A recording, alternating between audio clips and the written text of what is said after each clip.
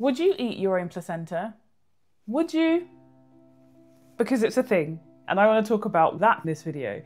Is it beneficial? Have you done it before? Let me know in the comments. I'm Remi, I'm a obstetrics and gynecology doctor who works in the NHS and I've been doing so for more than 10 years. I am building Her Health Room as a space for women who've delivered to have recovery and optimization of their health, focusing on physical, mental, and social recovery. On this page, I share educational topics regarding anything to do with the postpartum period, and I hope that you'll stick around, subscribe to this channel, and join in.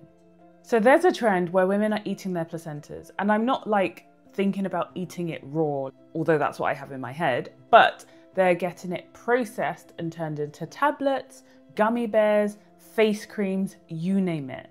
And what's the reason behind it? Is it something that's actually worth doing or is it just a fad? I think to best understand I think to best understand the trend, we kind of need to circle our way back and figure out what does the placenta even do?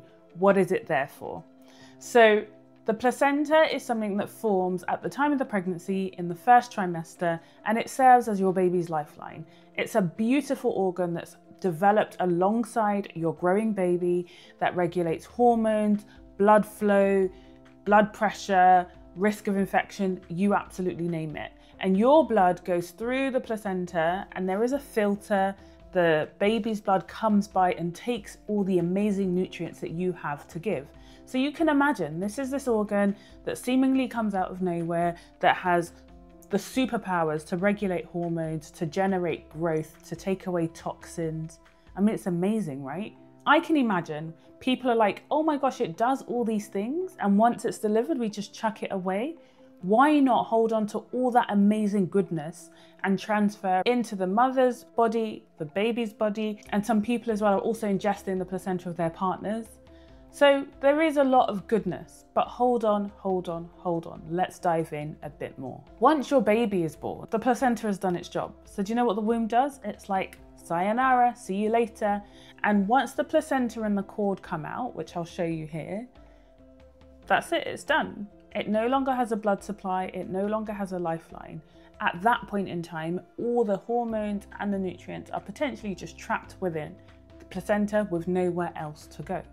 And like with anything that doesn't have an active blood supply, it slowly begins to die until you think about encapsulation. So how does that actually work? They take the placenta, they clean it, and then it needs to be left to dry, like dehydration process. And some people do this in machines, some people leave it in the freezer, and then it then needs to get mulched up or grinded. And this is not something that you should be doing at home yourself because of the risk of infection, but there are companies that do this for you. And then with the powder, they can either turn that into capsules that you can swallow or gummy bears, like someone I saw on TV mention, or they can put it into other ingredients like face creams. Again, because again, why wouldn't you want all those hormones on your face? But like with anything and with everything, the more you process it, the less the nutrients are preserved. And if we think about what the placenta does when it has an active blood supply, when it's the lifeline of your baby, what have people claimed that having their placenta in tablet form or gummy bear form has done for them?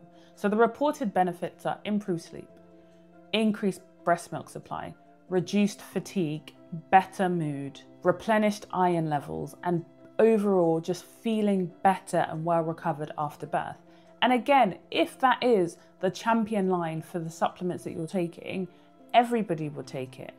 But again, let's go back to the thought process. If the nutrients are just not as strong as they would have been in its live form, are there other things that you can take to get those benefits that you want, like better sleep, better iron levels, feeling well recovered? Potentially. But also, I can see how people are like, well, that's fake or synthetic nutrients. Well, my placenta is natural from me. But what does the science say? Does science say that it's safe?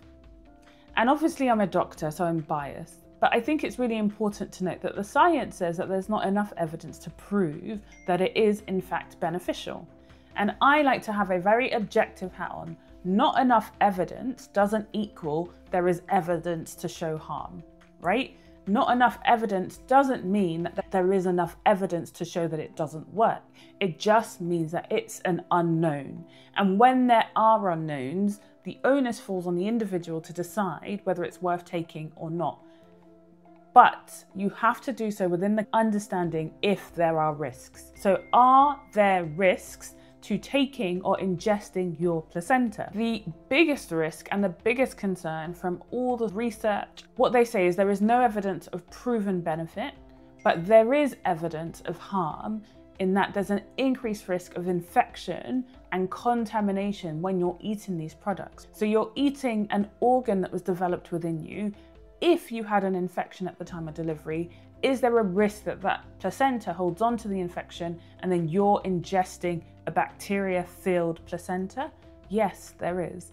And there has been one case that has been quoted over and over again about an infant who had an infection called group B strep, which is found in the canal of the vagina, can go up to the uterus, and had infected the placenta.